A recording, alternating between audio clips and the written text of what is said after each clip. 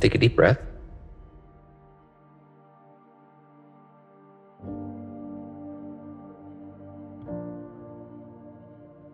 And relax.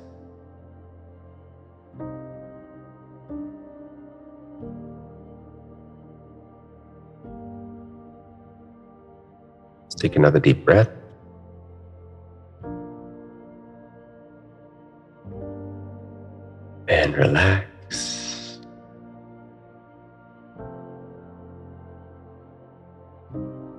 Another deep breath.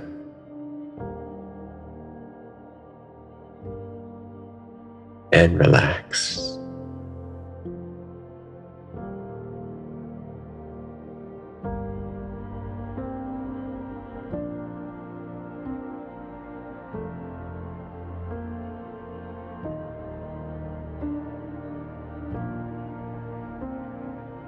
Give all your troubles away.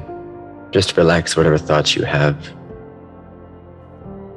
Some points in your life, all thoughts are problems. And the best thing to do is to release all of them. Even the hopeful ones and the prideful ones. Maybe even the funny ones, although they can go last. Because they're funny. They got some staying rights. But for sure, everything that bothers you, everything that bundles you up into a little knot, take a deep breath and release out chaos whence it came. The chaos of source. The chaos of that undefined pool of infinite possibility. Where you just happen to pick up the wrong thought that you don't want anymore, that doesn't serve you anymore.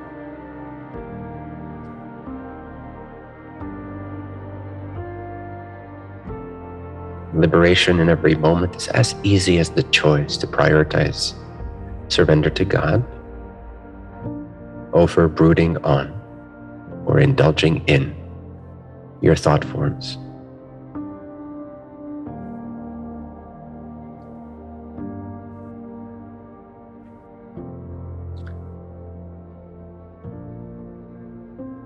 So relax and be one with God, be one with Source. Be one with this awareness, love light.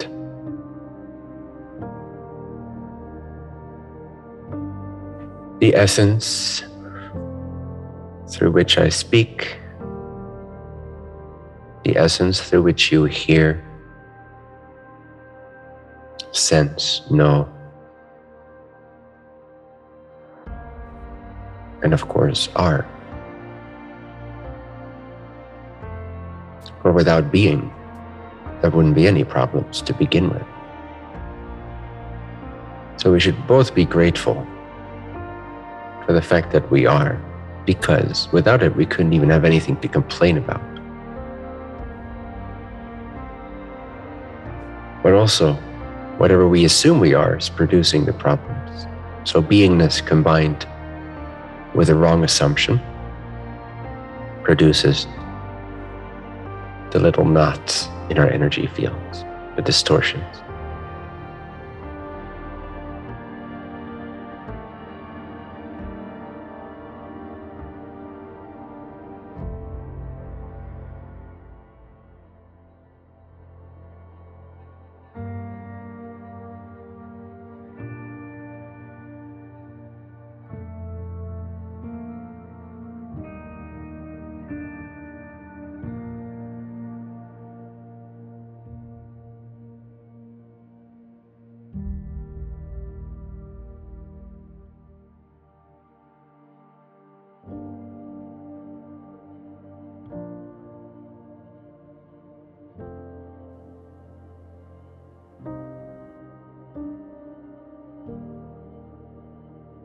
So, whatever arises,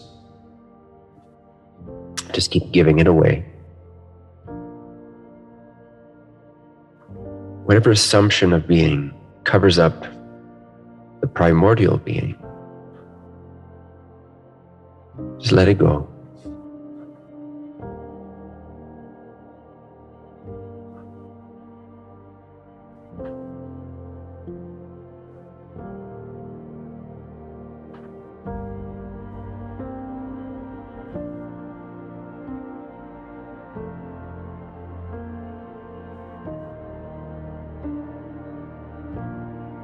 It doesn't matter.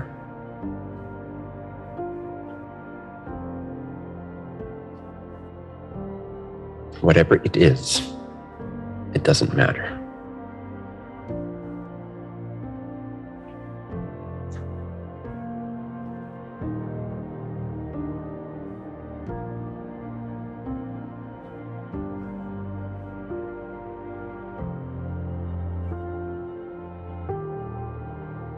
We make it matter more than being itself.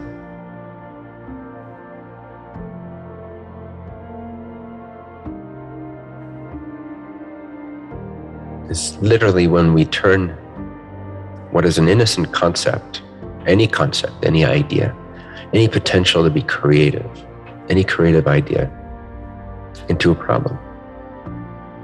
Ideas are inherently free of being problematic until we make them into something that they're not.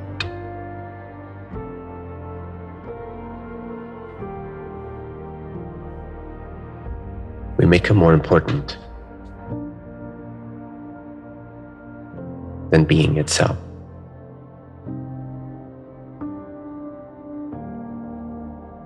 So just rest. Rest in being, noticing being.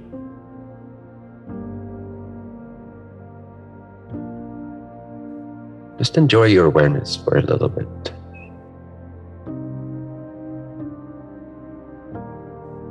Awareness is God.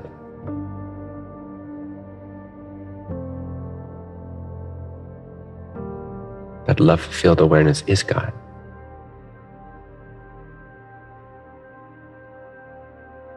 Not love for any particular thing, it's love for everything. It's love for being.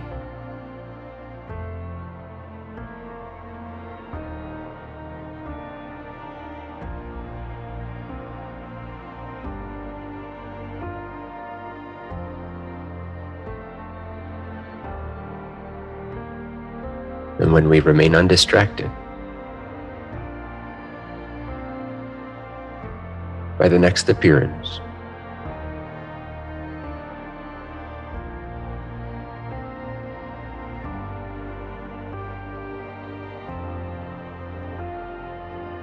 When we abide for a moment in motionless, aware being,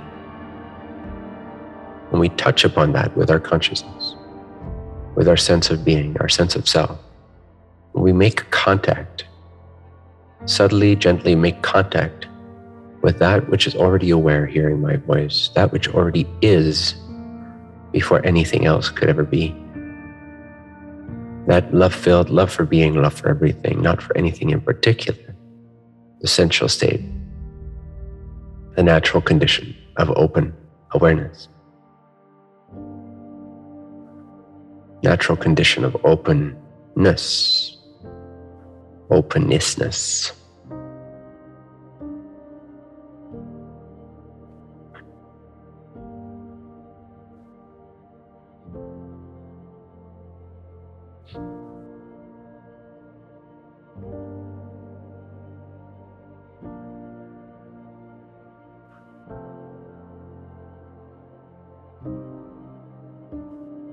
We get to enjoy the remembrance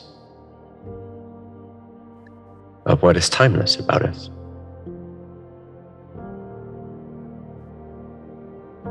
What is not as illusory as conflict and problems.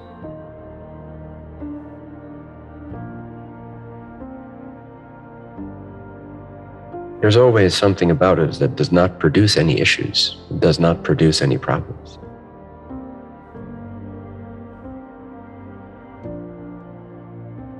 And it's always there, looking at our problems. Problem free awareness of whatever problems we produce, whatever we prioritize over simple, trusting, open being. Just be open for a moment, completely open. like the clear blue sky.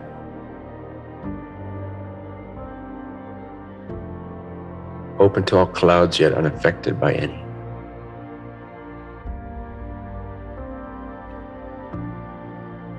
An equal love for all that moves through its space.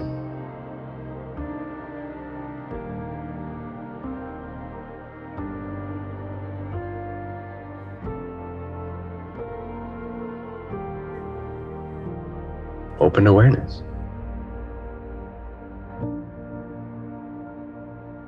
Open your awareness to open awareness.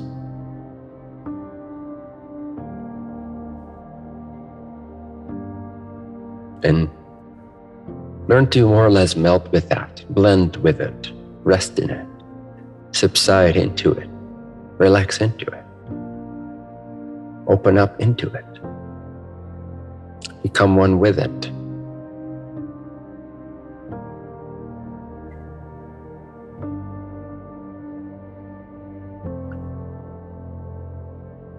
And let the former assumptions of self that were superimposed upon the natural self fall away, be seen through as optional illusion.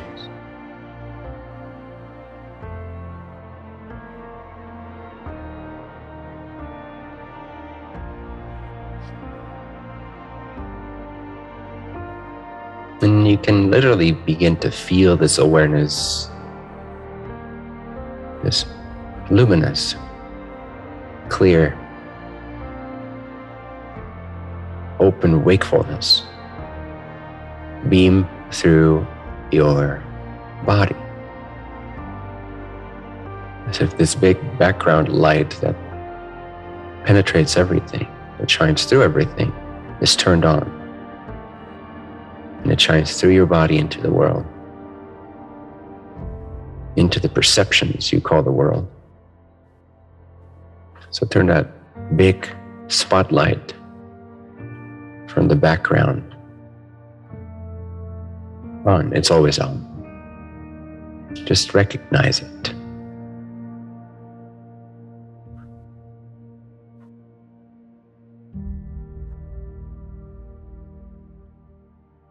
Enjoy the ease, that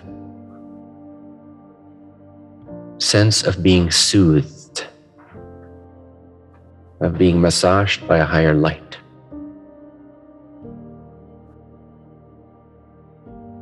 Let that penetrate your body. Let that animate your cells.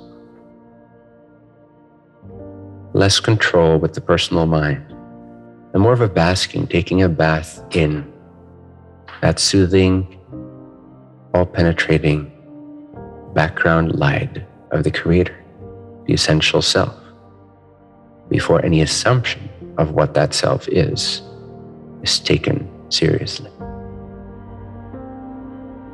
For a moment, don't take anything seriously and rest instead in the natural state.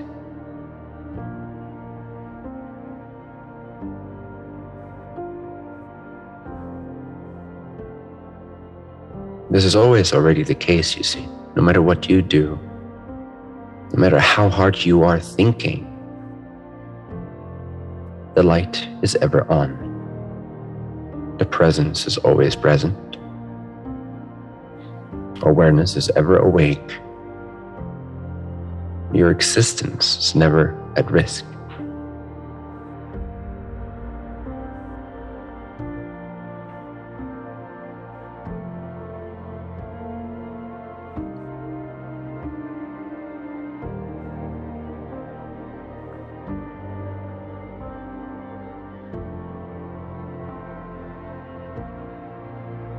This is what it means to enjoy yourself, literally.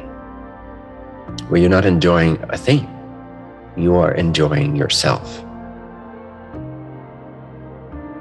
To abide in aware, open awareness, is to enjoy yourself.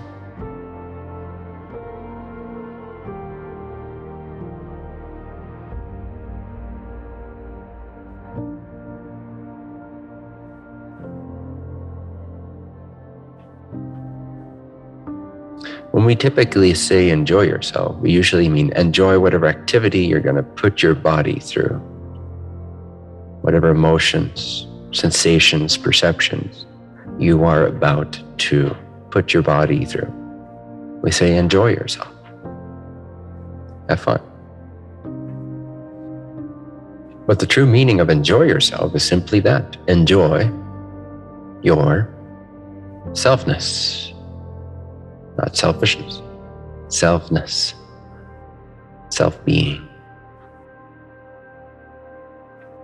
Enjoy that means to abide in it, to bask in it, to rest in it, to revel in it, to be soothed by it, to blend with it to lose your fixation on the world.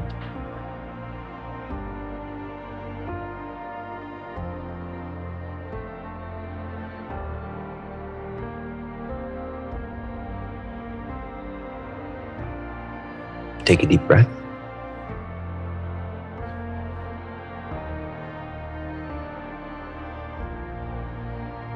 And relax. Take another deep breath. and relax.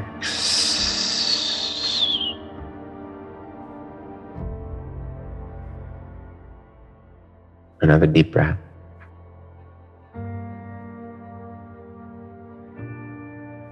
And relax.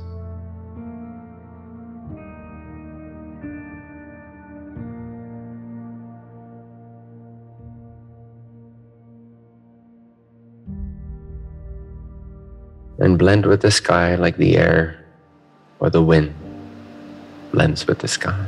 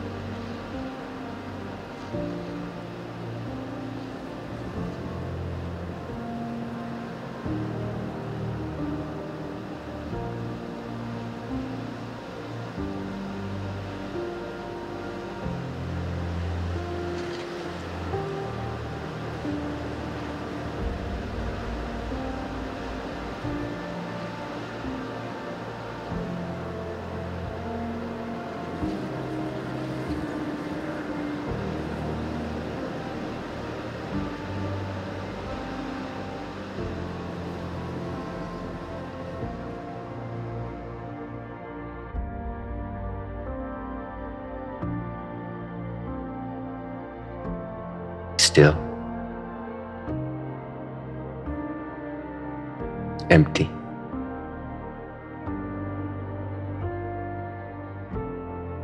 Free of anything.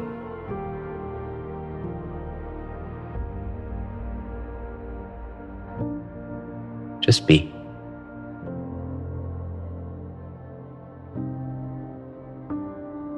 Enjoy yourself, your awareness.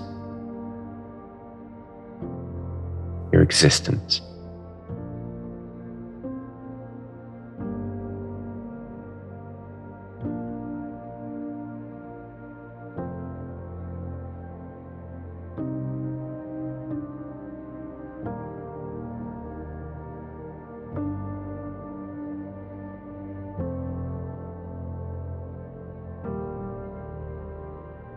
And when you feel you have replenished yourself with yourself,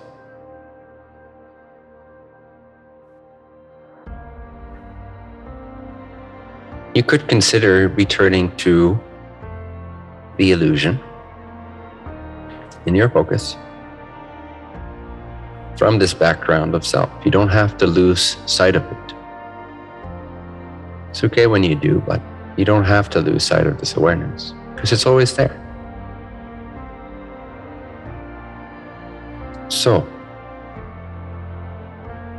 the self give a, gives a boost towards creation. The impulse of creativity comes from rest. And the desire for rest comes from creative endeavors and activities. So find that nice rhythm within the simultaneity of it all until they are brought closer and closer in unison together, meaning being and activity, or resting and expressing. And they are less and less two separate things. Where the wind blows through the sky, but there is no separation between the wind or the sky, and this is known by the wind. And of course, it's known by the sky.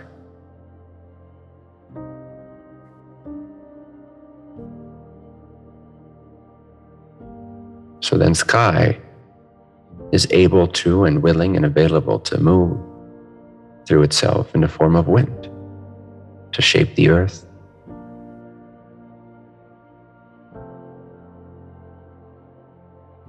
Be like the wind, at one with the sky, transforming the earth as it blows through emptiness. Can't do this if you get fixated on a particular house or building or city. And you get smog. The wind needs to blow freely, untethered, without an anchor, without a strong assumption of self. Wind has no identity, that's why it continues to perform its duty on this planet.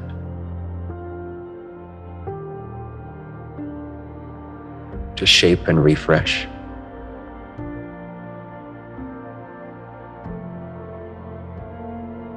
Be like the wind, at one with the sky.